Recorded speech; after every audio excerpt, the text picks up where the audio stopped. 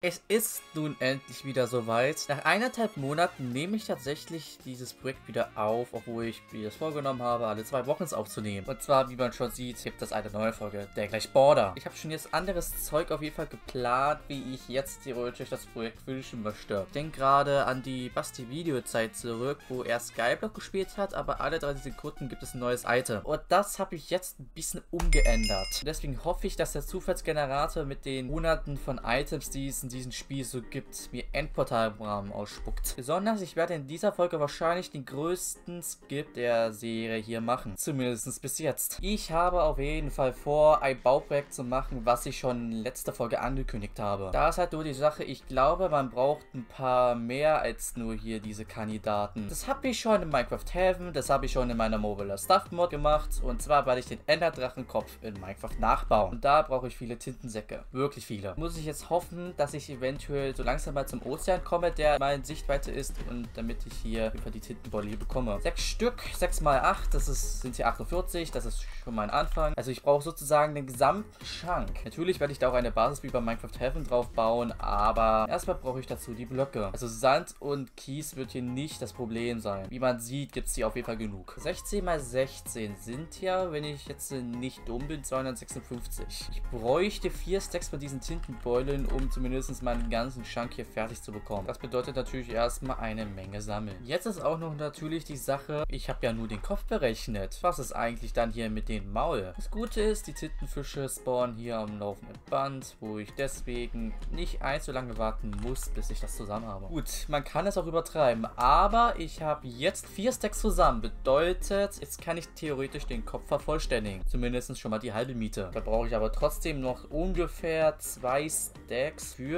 den Mund. Natürlich brauchen wir auch noch grauen Farbstoff. Das werde ich auch noch besorgen. Ja, einfach mal die Schalker. Die ist schön leer. Da kann ich alles reinpacken. Habe ich eigentlich Bambus? Habe ich nicht mal auf dem Schirm. Da kann ich das hochzüchten. Das hier ist eigentlich der langweilige Teil der Folge, weil hier passiert eigentlich so gut wie gar nichts. Man sammelt halt nur die Sachen und das war's. Wir brauchen hier ein bisschen Bambus. Das wird ja alles schon noch wachsen. Ich möchte diesen Kopf relativ weit oben in der Luft bauen. Da brauche ich schon ein bisschen mehr Gerüste als so ein paar. Ich würde sogar ein paar mehr nehmen. Sicherheitshalber. Ich bin typisch deutsch und sage, sicher ist sicher. Guck mal, drei Stacks, das reicht jetzt doch wirklich mal aus. Dann nimmt man sich noch irgendwie zwei Stacks pro Stein mit. Packt es auch da rein für die Vorbereitung. Dann weiter geht's. Jetzt brauchen wir erstmal eine Stelle, bei dem ich hier Sand entspannt farmen kann. Beziehungsweise auch Kies. Wo nicht so häufig hinfliegen. Und wieder spielt Fabric mit der Replay-Mod nicht mit. Ich den Teil des Videos mal wieder überspringen muss. Netherite, Netherite. Also ich habe jetzt quasi eine Netherite-Schaufel. Kann ich schon mal eine Reparatur dann verzaubern. Was will ich denn drauf kriegen? Werde ich noch schnell hier 30 Level zusammenfahren. So, Effizienz 4. Ja und nein. Jetzt. In Höhlen gibt es doch immer so gerne Keys. Wo ist denn jetzt hier Key Keys? So was meine ich. Endlich wird das mal nützlich. So, fangen wir mal an.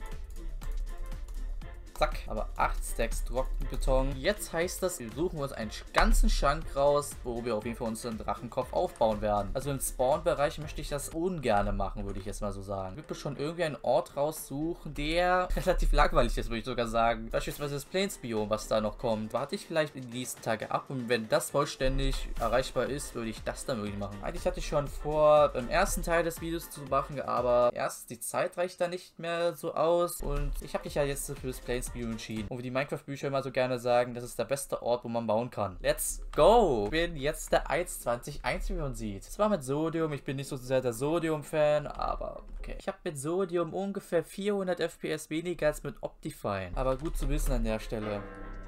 Oh, perfekt. Wir haben ja hier so schön aufgehört, damit wir hier eine Stelle uns raussuchen können für dieses Plains-Biom. Da hinten ist auch sogar schon ein Dorf. Ich wäre dafür, dass man da hinten, da müsste man aber für noch eine halbe Woche warten, dass man dort den Enderdrachenkopf aufstellt. Ich glaube, ich werde auch so langsam mal eine Regelung führen, dass ich nicht alle Items da behalte, weil sonst ist das wirklich... Man sieht, wie viele Schalke da sind, was für ein Zeug wir da so erhalten. Das ist einfach schon zu viel. So, mal gucken, was sich hier so drin versteckt.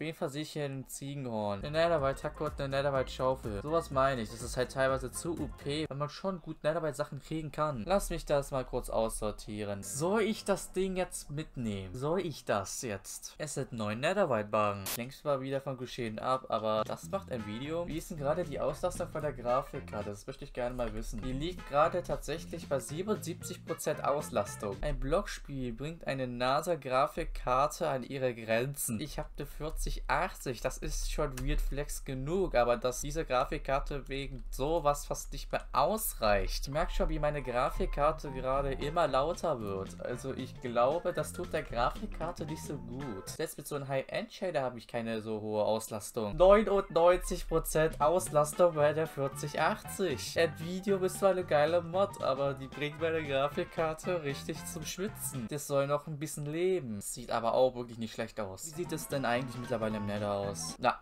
Nein, nein, nein, nein, nein, nein, nein, nein. Sind sie nicht selten? Ich weiß, übereinander gestapelt ist schon ein bisschen seltener, aber zwei übereinander gestapelt ist natürlich noch seltener. Aber zwei nebeneinander von dieser Art, ist das nicht wirklich selten? Also ich bin mir sehr sicher, dass ich diese Sache, die ich vorhabe, auf zwei Teile aufteilen werde. Einmal hier mit der Planung, dann mit der Umsetzung. Apropos Umsetzung, hier im Nether ist natürlich auch viel Keys, also könnte ich hier auch das Keys farmen. Gibt es eigentlich irgendwelche Kandidaten, die mal Keys im Nether gefarmt haben? Kommt so eine richtig dumme Idee. Was ist, wenn ich slash whitelist admin pro gamer mache? Wie lange wird der Server eigentlich das aushalten, wenn er auf dem Server dann sein wird? Ich merke schon, wie mir am Ende so richtig ausrastet vor Freude. Dann ist hier schon mal ein bisschen was aufgefüllt, muss aber noch ein bisschen mehr rein.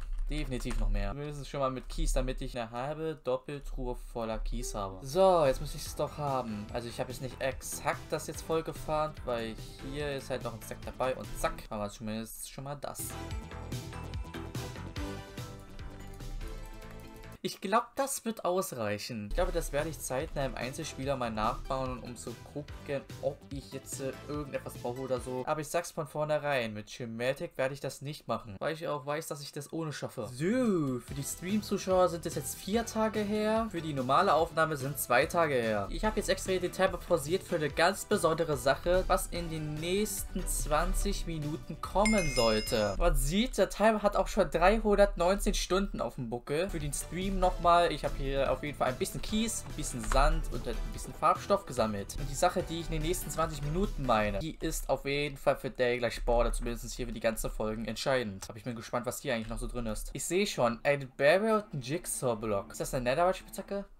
Kurze Frage, wieso kriege ich eigentlich alles immer aus Netherite und nicht aus Holz oder so? Weil sich die Welt ja jetzt wieder um 130 Blöcke sozusagen erweitert hat. Also wenn ich nicht dumm bin, müsste die Treasure Bastion eigentlich jetzt frei sein. Das wäre zumindest so eine halbe Miete, die wir dann hätten. Dann können wir dort mal vielleicht hoffen, dass wir drei Netherite-Barren in einer Truhe finden. Na, finden wir Bambus in der Truhe? Scheinbar nicht. Aber die erste Schatzkarte. Schlägt die Karte aus? Ja, die schlägt aus. Also irgendwo da hinten. Ich würde sogar sagen, das sind gute 200 Blöcke Minimum noch, die uns da zu fehlen. Hätten wir auch auch nochmal ein Herz des Meeres und könnt bei uns einen Aquabusator angeln. Ist ja nicht so, als hätten wir gerade eben erst einen bekommen. Ich nehme jetzt mal die Endeaugen raus. Vielleicht ist hier tatsächlich schon ein Stronghold in der Nähe.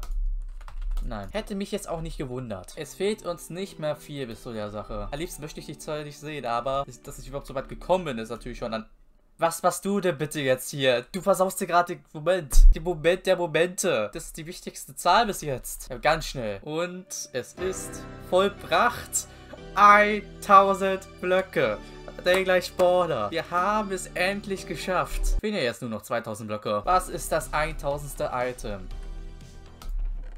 R? Ist es ernsthaft R? Nein, nein, nein, nein, nein, nein, nein, nein, nein, nein. Es kann jetzt nicht wahr sein, dass das 1000. Item R ist. Das 1000. Item ist R. Das ist das ansatzfähigste Moment, was ich in Daylight Border je gehabt habe. Dann hat man eigentlich so einen guten Moment gehabt und dann wird man sozusagen runtergeredet. Oh my Gott, es ist eine Festung, dann auch noch in Soulset Rally. Ich muss den Server jetzt wieder weitere sieben Tage laufen lassen und dann kann ich endlich Blazemods farmen. Trotzdem ist das mit den 1000. Item und R ziemlich unbefriedigend.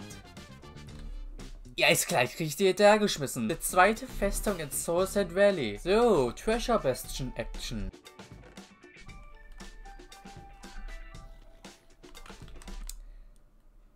Okay, leider ist das nur eine Truhe, aber vielleicht haben wir da trotzdem Glück, irgendwie ein Netherbyte-Waren zu finden. Ein Netherbyte-Waren waren irgendwie 33, irgendwas Prozent, zwei waren irgendwie, keine Ahnung, 0,6 Prozent oder so.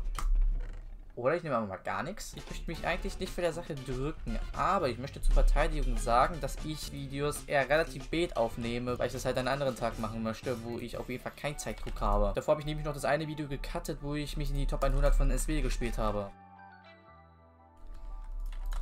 Wieder Skelette und es sind welche gespawnt. Eieiei. Aber das ist doch mal wirklich eine Ausbeute. Erste Kopf kam nach drei Witterskelette. Ich glaub's auch kaum. Sind die Witterskelett-Schädel. Ja, bekämpfe ich spontan nochmal ein Widder bei der Session. So, könnte sein, dass ich mich zu sehr equippe, aber besser zu viel, zu wenig.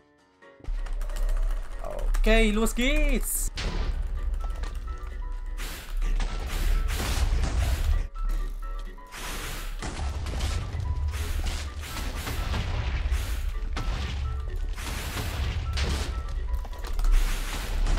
Oh mein Gott.